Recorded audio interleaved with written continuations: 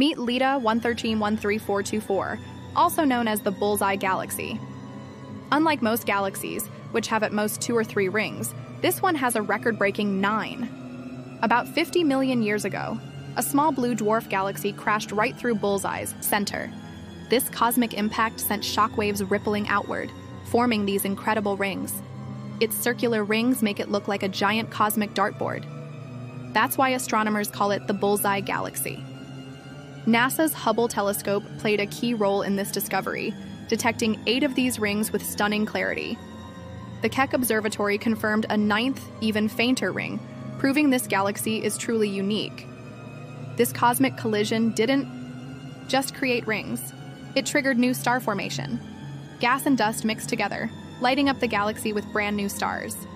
And here's the mind blowing part this galaxy is 250,000 light years across, 2.5 times bigger than our Milky Way.